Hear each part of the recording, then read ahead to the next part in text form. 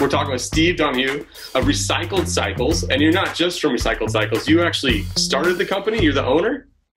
Yeah, I am. I, we opened it in uh, October 1994 to sell used bikes, and so we've been doing it pretty strong ever since. 25 years now.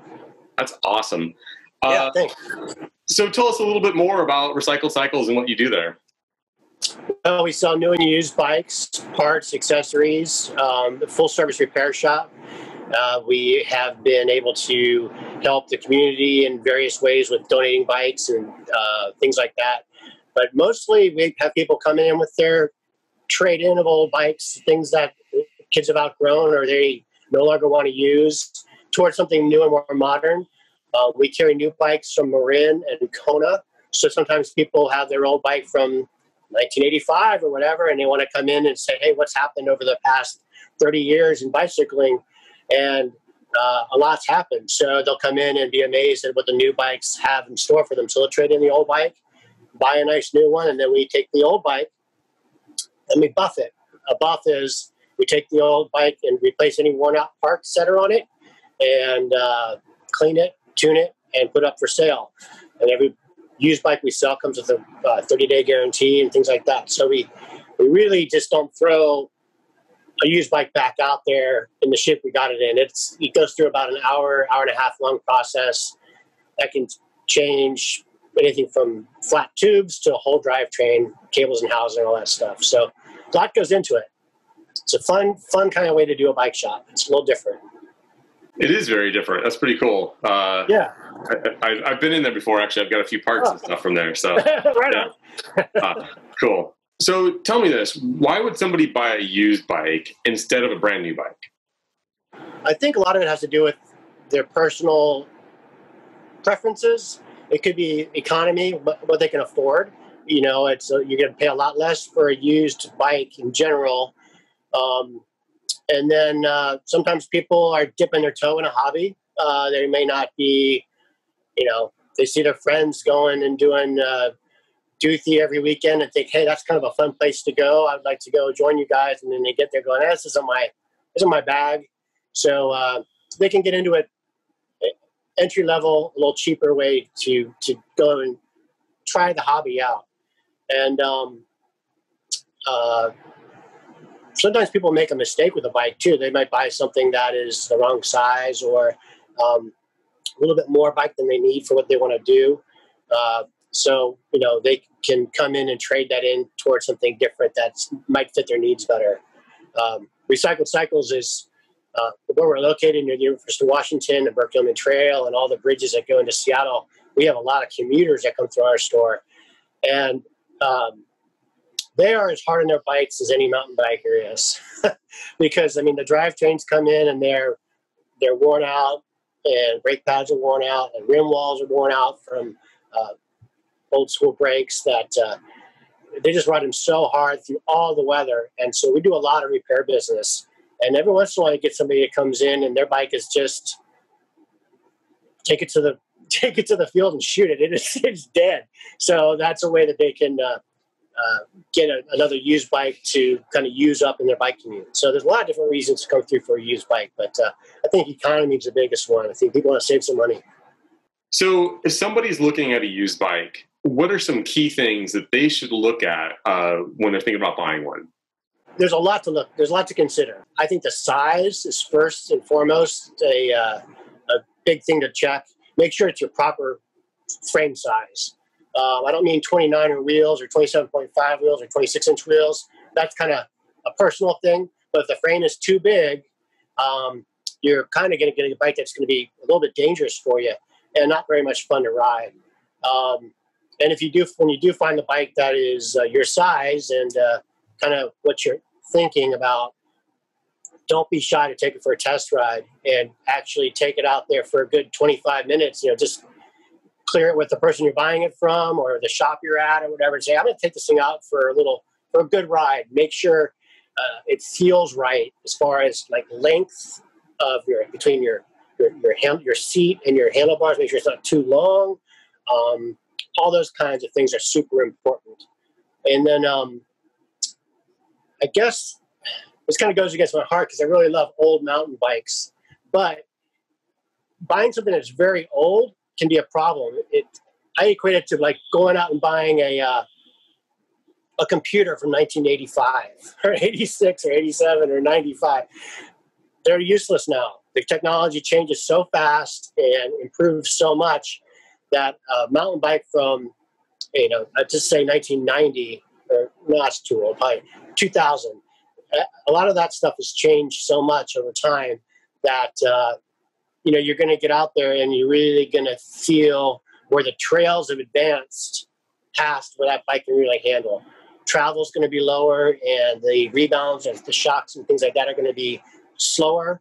So um, you really got to kind of know what you what you want. Maybe talk to other people who are into the sport to to kind of help you help you through it.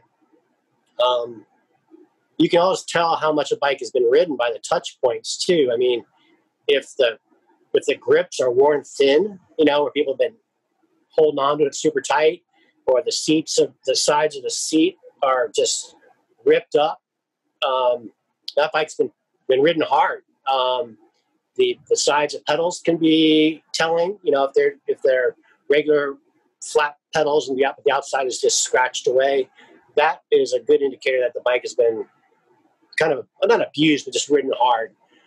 Um,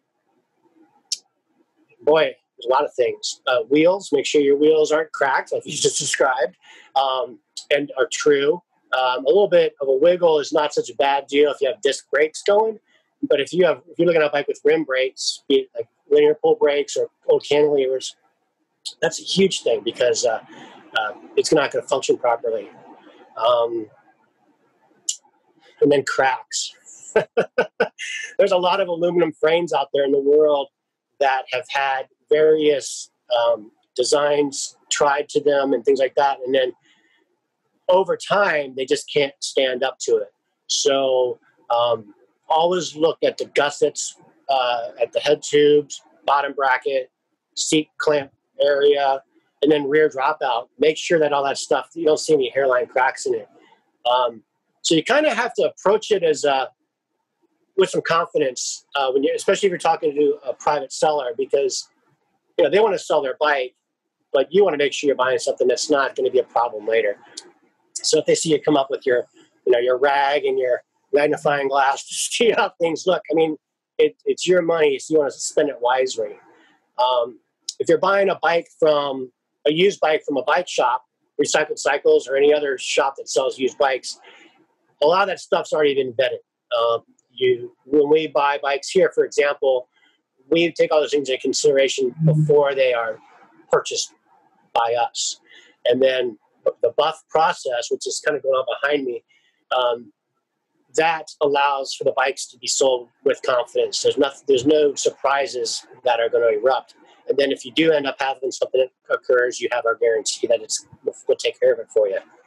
Um, just so there's a lot of stuff to consider. um, brakes too. If you have hydraulic brakes, make sure that they feel good and don't go all the way to the don't go all the way to the grip right away. It'd be a sign that they either need to be bled or that, or that the brake pads are all, already worn away. So, if somebody, if for example, they don't really know the difference between a, a mechanical disc brake and a hydraulic disc brake, or a 27.5 or a 29, what what sort of advice would you give them if they were trying to inspect a used bike? Um, I guess again, do uh, do do the research, um, or ask other friends who are into biking. Um, I think that's the best way to do it because you you know you can uh, look at forums online and things like that, but uh, doing your own research at your own pace uh, and talking to other people about them is a is a great way to go. Um, you know, don't be even. You can go into a bike shop and you know shop a new bike and, and ask your questions that way. You say, hey, well, I don't understand. This one has a has a cable running it, and this one is hydraulic. What's the difference? And you know, bike shops are here to serve the whole bike community. So you're not going to get an, you know, you're going to get a good answer from somebody. You're not going to get, ah, you know, get out of here.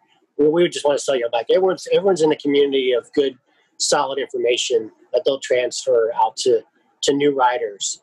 What are some common mistakes that you've seen people make when they buy a used bike? When we have people come in come in to recycle, that's my my best example. Um, we do have people come in and say, "Hey, I just bought this bike used. Um, I just want to get it tuned up." And you start to look at it with the customer, and you realize there's a, there's a lot going on with the bike. So you really you really end up kind of disappointing people when you say, "Hey, I, you know, I got this bike on Craigslist for for 500 bucks." You know, can I just want to give it, give it a tune up, and then uh, professional puts it up in the bike stand and starts going through it, and you realize, well, the chain and cassette are both worn out, 100 bucks. Your middle chainring, the popular chainring, is worn out, 50 bucks. Uh, you know, your shifters aren't working very well, your rear derailleur's worn out. All those things add up fast before you even start talking about the service to, to put them all on. So um, I think that uh, people, when they're buying a used bike, have to have, like I said before, the knowledge about what they want to do and the knowledge about what to expect with the bikes so that they can not get something that's already worn out and then get surprised with what it's going to take to get the thing to go. All right. Now we're going to play a game. All right. You ready to play a game? Uh, let me get some coffee here. All right. I call this game good deal or bad deal. So I've gone out, I bought three used mountain bikes. These are great deals. The sellers assured me of that, that these, these are awesome bikes. And so now I'm going to pull them over. You're going to take a look at them. And uh, yeah, tell me what you would look for if the bike came into your shop, and then also tell me if I got I got a good deal or a bad deal. And the right answer is good deal, right? Right? Because I don't want to find out I paid too much. So yeah, all right, I'll, I'll be gentle. I'll be gentle. All right, great. First bike up. Now this bike, they tell me, is a classic.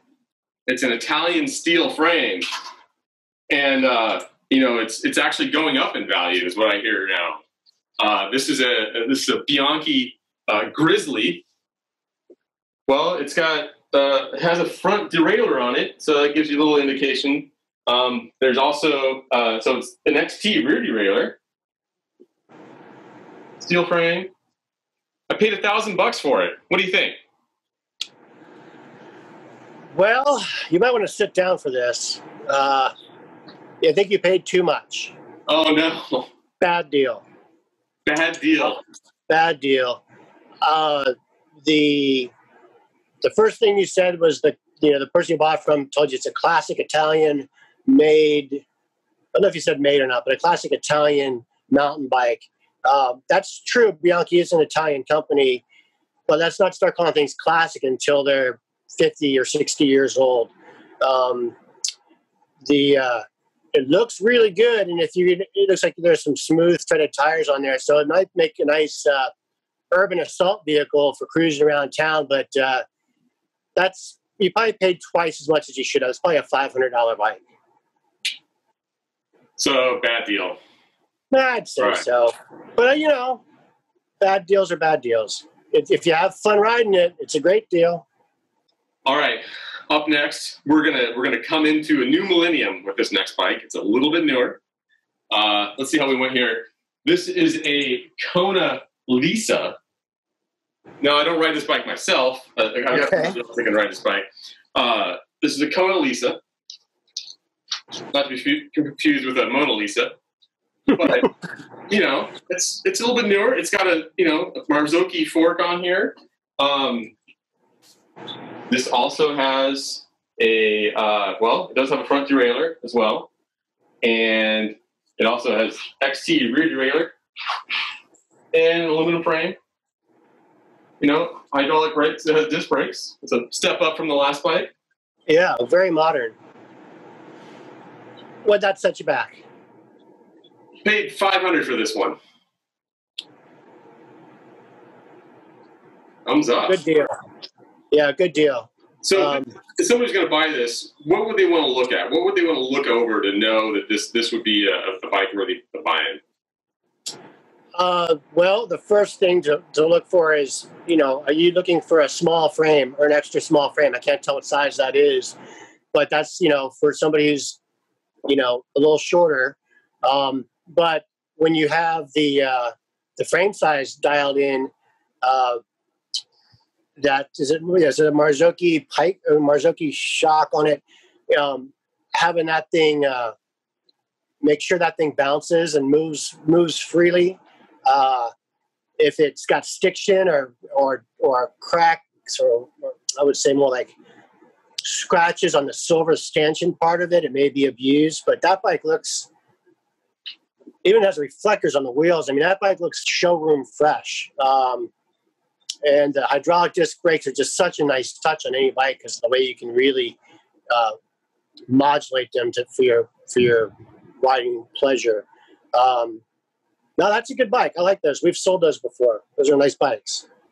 So, good deal or bad deal? I think it's a good deal. All right, all right, very good. It even has a dropper post. I didn't. I didn't notice that. There you go. Even better deal. Yeah. Oh, nice. Woo. All right, so this next bike I'm not really familiar with, but you know, sometimes you go to the grocery store and they have those big displays, and there's like some company that has, uh, you know, a big display for their grocery product, or whatever, and then they're selling, they're like giving away like a snowboard or something along with that. Um, Yeah. I I think maybe that's what this is from because this I- I know this company from a, a cooler company. They make like ice chests and stuff. So uh, I, apparently they also did it with a bike. Um, I think the guy I don't know. It, it seems a little strange to me. The frame sounds I don't know what it's made out of. It could be plastic or something. Maybe it's just maybe it's not even supposed to be written. I'm not sure. But uh, yeah, uh, I paid 500 for this one. What think about this? I mean, it's, it's got a suspension fork. It's full suspension.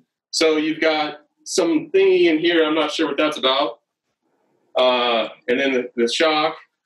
And it doesn't have a front derailleur, so I don't think it has very many gears. It's got this big thing back here. I'm not sure what that's about. Well, so let me ask you a couple questions. Sure. Um, you bought it from a private seller, Yep. and you paid five hundred bucks for it. Yeah. Um, that's probably a four to five thousand dollar bike. Um, it's a carbon fiber frame and swing arm. The fact it doesn't have a derailleur up front, if you look to the back, the big rear cassette there allows for uh, lots of gear options for climbing hills and stuff. Um, and Yeti makes coolers, you're right, but they also have been making mountain bikes since 1986 or 7. So um, that bike, to me, if someone were to roll that into the recycled cycles saying, hey, I want to sell my bike, um, they'd get a lot of Q&A about that uh, because I wouldn't be surprised if that was sold so low because it's stolen. Um, Oh. so you you could do a couple things to to check. You could uh, uh, go to bikeindex.com and, and throw the serial number into their database. Uh, serial number is usually located on the bottom bracket below the crankset or uh, somewhere else on the bicycle. But you can go to their database and put in a serial number, and if, if somebody has reported a bike stolen, it'll come up. And uh, if that's the case, you can um, alert the authorities and try and uh, get your bike, get the bike back to them. Um, you can even if, call your local Yeti dealer and see if they know because those bikes don't sell every day. And when a bike shop sells something that nice, they're usually pretty pretty happy with it. So I would do some checking. There's just a big there's just a big area that's scratched down there is all I see. I just see some scratch. Ah. Oh, that's even worse. Because Oh. if if there was a serial number down there, it's been removed. Oh. Why would that happen? so it can't be traced. So I think you may have bought yourself a stolen bike. So good deal, bad deal? No deal. I would Oh. not bought that. That's a bad Oh. deal. Yeah. Here I was thinking I paid too much because I thought it was like some weird bike, but No. oh, well then. Uh, yeah, that's a beautiful bike, but it's probably not doesn't belong to the person you bought it from. All right. Well, thanks for playing. Never buy bikes out of vans. Never buy bikes out of uh, fields in the middle of nowhere. I mean, that's a little uh, sketchy to me. Uh, well, thank you for playing along. I really appreciate that and uh, keeping a straight face, even though I was having a little bit of a hard time keeping a straight face myself. With that, any final words of wisdom for somebody looking to buy a used mountain bike? Um, I think trying to uh, get a used mountain bike is a great is a great idea, and it should be pursued with caution. Um, the uh, more you ask questions, the more you get familiar with what you really are after, um, you can start to take this broad focus and narrow it down to you know two or three options, two or three things you want to test ride that are in your size.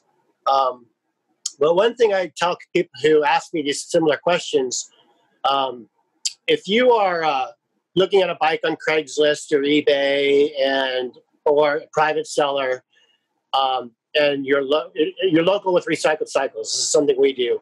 Um, meet them here. Meet your seller here. We have a big parking lot across the street, and um, you can take it for a good test ride. But what you're doing is you're meeting in a neutral spot, which is uh, what you should do. Um, if they don't want to meet you at the place of your choosing, yeah, it might be a might be a problem. But if you do meet somebody here and you, you, you test drive their bike and you think, hey, you know, this is pretty good, bring it inside and have a pro just give you the once over before you exchange the money. Um, that way, you know, if it's uh, if it does have a smoke drivetrain or needs this, that, and the other thing, and you're getting an estimate for repair that's a hundred bucks, walk back outside with the person and you know start haggling a little bit. Make sure you have good information about what you're going to buy, so you're not up, you know, where you know who's creek uh, without a paddle. So um, that's probably the biggest thing. Don't get taken uh, for a ride because you want to ride a bike. Just make sure you find a good, solid bike that is going to check out and uh, have fun with it. Steve, thanks again for your time. Really appreciate you hopping on here and giving us yeah. words of wisdom. And congratulations on the 25 years of business at Recycled Cycles. Thank you very much. It's been fun.